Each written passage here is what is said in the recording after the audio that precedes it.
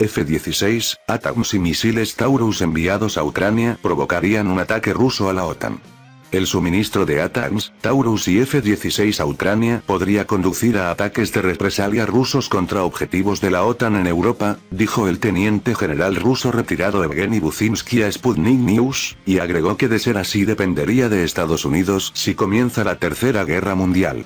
El presidente estadounidense, Joe Biden, insinuó recientemente que su administración estaba preparando la entrega a Ucrania de sistemas de misiles tácticos del ejército, ATACMS, por su acrónimo en inglés, con un alcance de 300 kilómetros.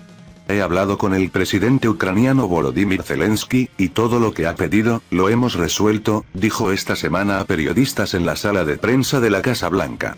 Por su parte, Alemania sigue considerando enviar misiles de crucero Taurus, que podrían ser lanzados a una distancia de 500 kilómetros. Anteriormente, el Reino Unido y Francia suministraron a Kiev misiles Storm Shadow, con un alcance de 250 kilómetros. El ejército ucraniano ya ha utilizado estos cohetes para atacar infraestructuras civiles y objetivos ubicados en las nuevas regiones de Rusia. Aún así, el suministro de nuevos misiles de largo alcance a Ucrania hará que europeos y estadounidenses participen directamente en el conflicto, expuso el teniente general ruso retirado Evgeny Buzinsky. No tengo información sólida sobre cómo actuará el presidente ruso, el mando militar ruso, pero estoy seguro de que los ataques de Taurus o de Atam son muy perjudiciales para Rusia, así que supongo que atacaremos al menos el centro logístico en el territorio de Polonia en Rizestov, comentó Buzinski para Sputnik. Y, en este caso, depende de Estados Unidos decidir qué hacer, opción, que consiste en ir a una tercera guerra mundial con destrucción mutua o dejar a los polacos luchando solos contra Rusia. Hasta la fecha, Rusia ha adoptado un enfoque moderado, al realizar ataques de represalia, según Buzinski. Señaló que, por el momento, Moscú ha enfocado mayoritariamente estas acciones contra centrales eléctricas, algunas instalaciones industriales que producen o reparan equipos militares y lugares de despliegue de las fuerzas ucranianas. Al mismo tiempo, gran parte de los puentes, túneles y otras infraestructuras ucranianas permanecen intactos. Sin embargo, si Ucrania obtiene, por ejemplo, misiles Taurus o ATACMS y comienza a lanzar ataques contra objetivos en el territorio de Rusia, incluyendo Crimea, por supuesto, creo que Moscú intensificará y lanzará ataques contra un número mucho mayor de objetivos en Ucrania, apuntó el teniente general retirado. Las causas de una posible escalada Mientras tanto, la entrega de aviones de combate F-16 a Ucrania podría escalar aún más el conflicto, ya que es casi seguro que estos aviones de combate tendrían que tener su base en territorio de la Organización del Tratado del Atlántico Norte, OTAN, según el experto militar ruso. Creo que el suministro de aviones de combate será el momento de la verdad para Estados Unidos. ¿Por qué? Porque no hay suficientes aeródromos adecuados en Ucrania para el despliegue de aeronaves de combate occidentales, específicamente F-16, distinguió. Y eso no solo es lo delicado de las pistas, sino también la infraestructura logística y de mantenimiento.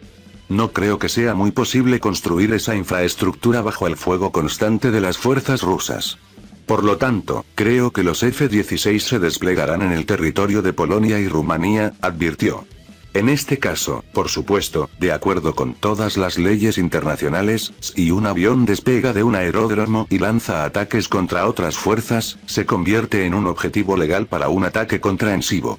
Creo que Estados Unidos tendrá que decidir en este caso si invocar el artículo 5 y señalar, como el presidente Biden dice constantemente, defenderemos cada centímetro del territorio de nuestros aliados, o declarar, polacos. Ese es un asunto bilateral con Rusia, así que, por favor, lucha y te apoyaremos, continuó Buzinski.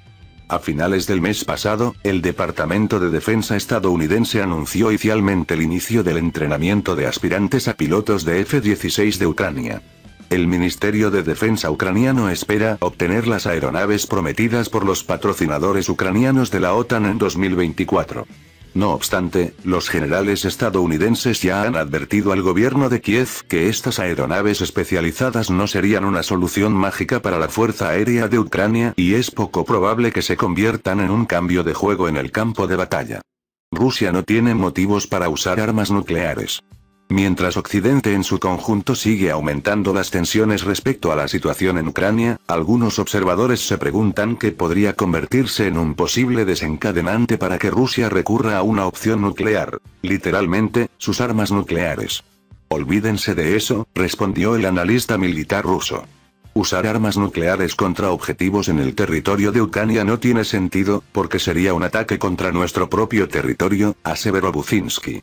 Tenemos una gran variedad de misiles, bombas de alta precisión, por lo que contamos con los medios para atacar la infraestructura de comando y control, la infraestructura de transporte ucraniana, como puentes y túneles, y para destruir seriamente, o incluso cortar las raíces, del transporte de equipos occidentales a Ucrania. Mi posición es que no se puede controlar el uso de armas nucleares. Comienzas con armas nucleares no estratégicas y el aumento de las tensiones es inminente.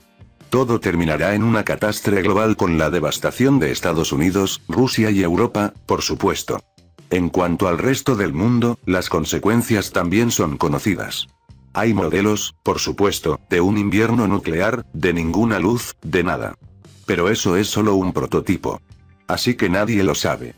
Pero en cuanto a la destrucción física, eso es seguro, agregó el veterano.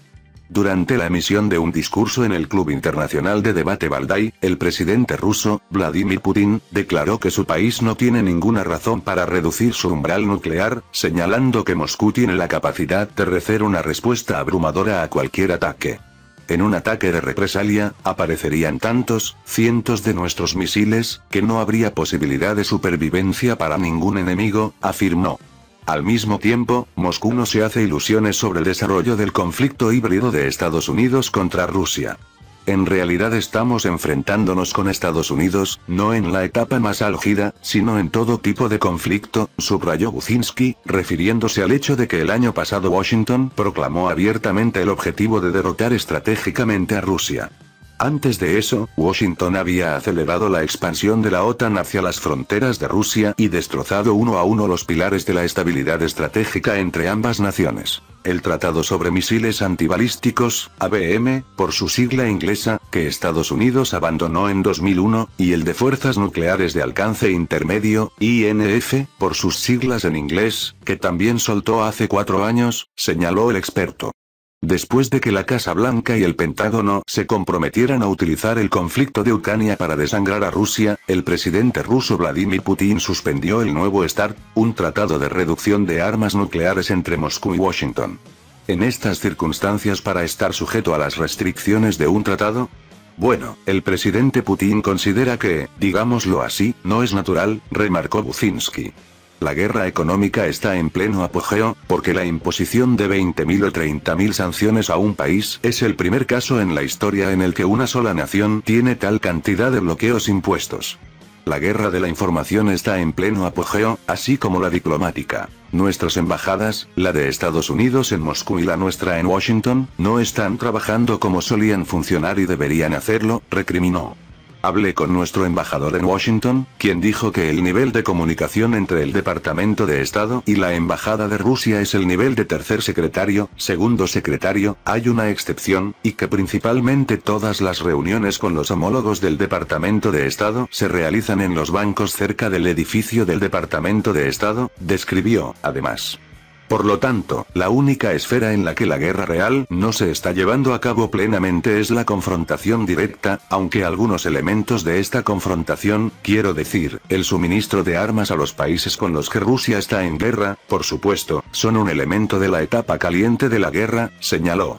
A pesar de que la propaganda occidental asustó a su audiencia con ataques nucleares rusos por desesperación, nada de eso sucedería, según el experto militar.